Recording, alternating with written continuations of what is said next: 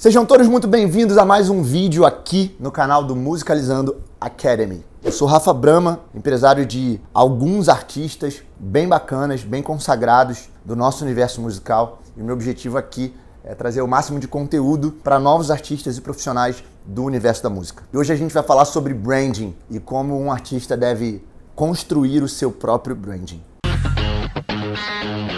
Se você ainda não sabe o que é branding, eu vou dar uma rápida explicação para você ficar por dentro e deixar isso tudo bem claro. Teoricamente, branding diz respeito à gestão de uma marca. Qualquer marca possui o seu branding, desde marcas de roupa, marcas pessoais e também marcas artísticas. Assim, qualquer projeto artístico, seja uma banda, um cantor solo, um DJ, deve ter o seu próprio branding. Quando falamos em branding, mais do que a logo ou a identidade visual, também falamos em posicionamento, em tom de voz, personalidade e valores.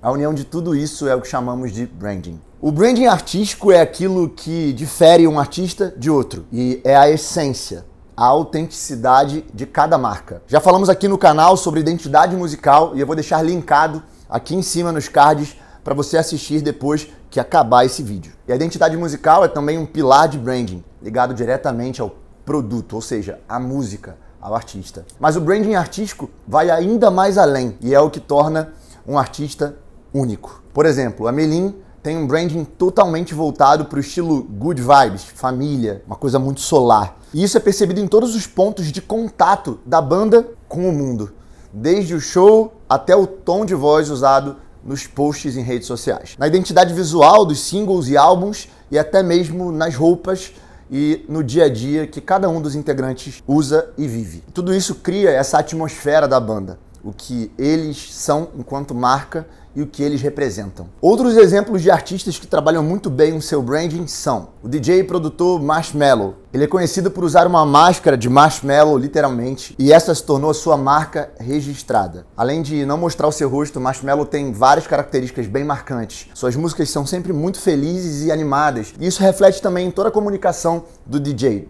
do Marshmello em si. Suas postagens nas redes sociais e seu comportamento combinam com o seu estilo musical de sempre ser divertido e alto astral. E a máscara que ele usa também possui um sorriso genuinamente feliz, está sempre sorrindo. Outro exemplo que podemos citar aqui, de dentro da própria Boost, que é a nossa empresa que cuida do empresariamento de artistas da música eletrônica, é o nosso querido duo, o nosso Almanac, o projeto Almanac, que é um duo de DJs e produtores que possui uma veia jovem, bem descolada e muito, muito autêntica. Os meninos do Almanac, além de uma identidade sonora muito bem construída e definida, eles também definiram ir além no branding, fazendo o possível para ser identificado facilmente, tanto nas apresentações, nas redes sociais, na forma como eles se vestem, se portam, falam e, obviamente, lidam com o público, criando uma marca forte e uma atmosfera também muito especial e única para esse projeto chamado Almanac. Também podemos citar a Lauana Prado, que dentro do universo sertanejo é uma artista que eu sou um dos empresários e sócio e ela tem um branding e uma identidade muito especial. A Lau é uma artista totalmente fora da curva, que apesar de cantar um gênero mais tradicional e cheio de estereótipos, que é o sertanejo, ela vem completamente disruptiva, mostrando que a gente pode sim quebrar todas essas barreiras. Ela tem um visual muito mais urbano, mesmo cantando música sertaneja, que originalmente vem dos sertões. Várias tatuagens, dread no cabelo e uma comunicação que também possui uma característica muito descolada. Bem diferente do que geralmente se encontra em outros cantores e cantoras sertanejas. Beleza, Rafa, mas depois que você falou isso tudo, eu quero entender como é que eu crio e defino o meu branding. Bom, Antes de mais nada, você precisa achar o seu diferencial, o que te difere dos outros artistas do seu gênero ou subgênero. O que você tem de mais especial, de único, que pode ser explorado e ser capaz de gerar uma identificação grande com o seu público. Qual é a vibe que você quer passar, a energia que você quer passar, como você quer ser reconhecido, percebido. Após ter isso tudo bem claro, aí você precisa definir qual é o teu tom de voz, ou seja,